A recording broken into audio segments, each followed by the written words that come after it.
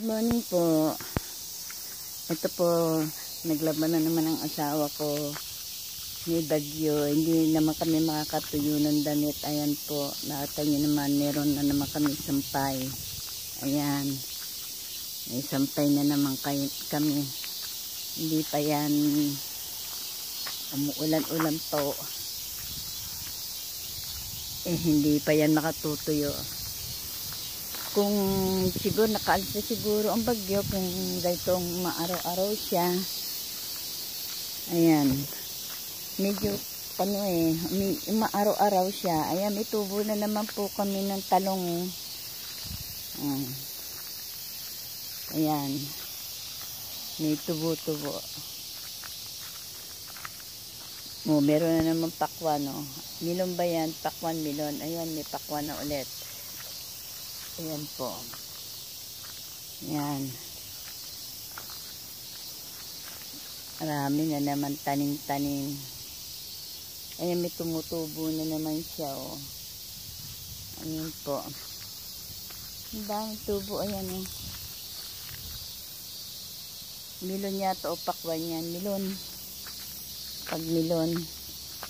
Ito, milon din. Ayan, ang may maliit. Ayan po, may maliit.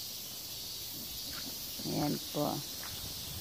Yung mani, ang dami ng dahon ng mani. Hindi ko alam kung marami ng mani yung loob nun eh. Sa ilalim. Yung asawa ko. Nagsasampay siya. Ayan po. Dami na naman tanim ng dahon. Ano? Ligaw na damo.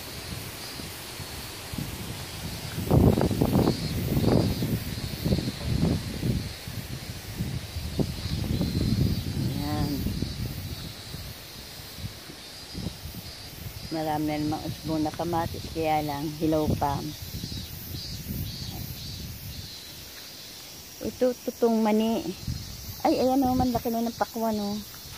Ay, kinain yung pakwan, laki-laki sayang. Ito, mani po to eh. Hmm. Ayun, meron pa. Meron pang pakwan. Ayan, oh. Oh.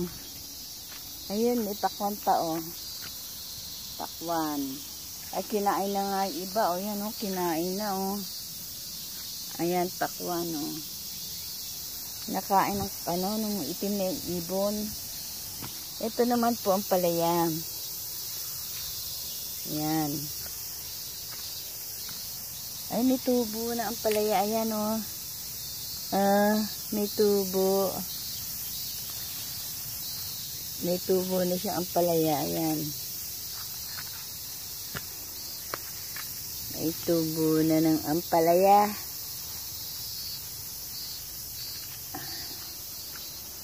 Ayan.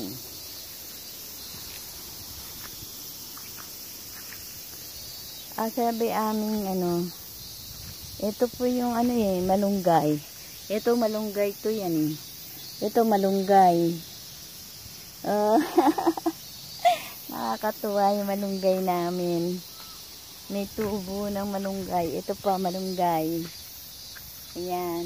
Ito malunggay rin yan. Ayan. Oh, nakakatuwa ang malunggay namin. Meron na kaming tanim na malunggay. Ay.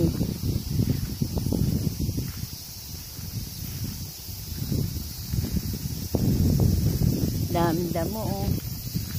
Ayan. Yun yun naman yung damo dito sa gilid oh. Ayan. Dami-dami.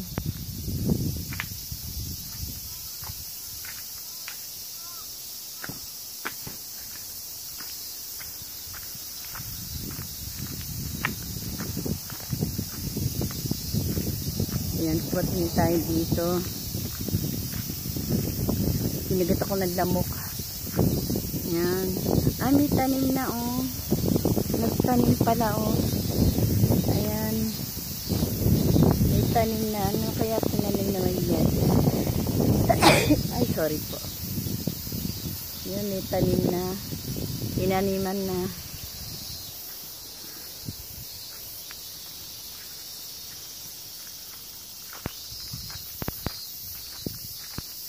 Anahan ko lang ng konti ito para pumasok yung hangin.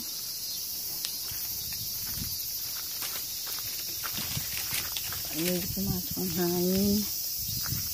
Init. Yun po. Para pumasok yung hangin.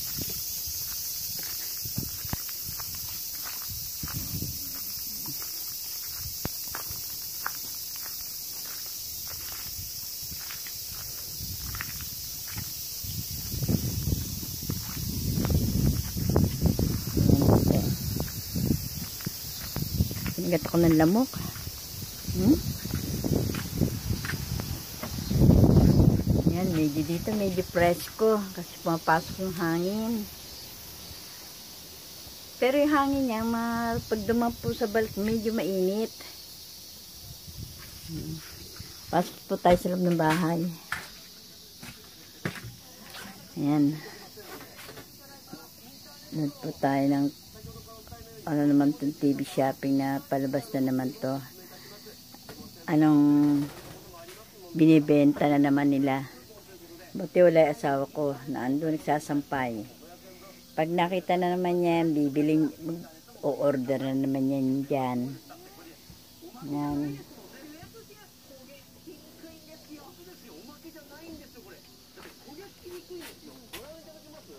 Tingnan ko po itong maputi. Ayan, maputi. Ayan, maputi. Ayan. Nilagyan ko po ng ano yan eh, para pumuti. Yung tapakan ng liguan namin. Kalderong yan.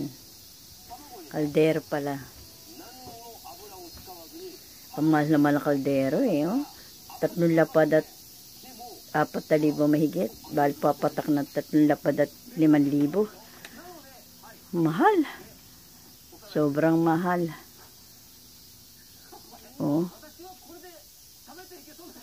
Tapos yung medyo siguro malit-lit eh, dalawang lapad at siyam na libong at 800 centimos 800 ano bali papatak tatlong lapad hindi na yan lang ang mahal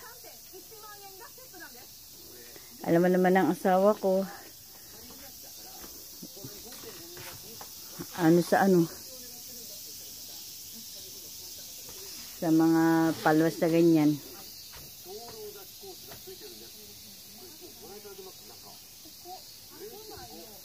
Tinatamad ako magluto.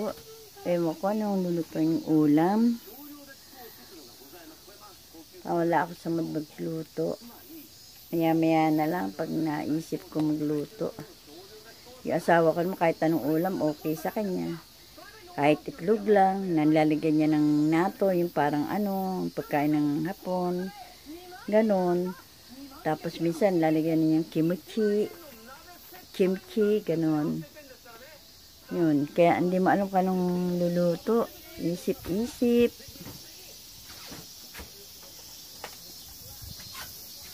Hirap mag-isip lang luluto lagi. Sa panahon ngayon tag-init, madaling mapanis ang pagkain. Hmm. Pag siya natatapos, lakas ng hangin, no? pero ang, init nandampi sa balat. Sige po, hanggang dito na lang po. Thank you for watching. Bye!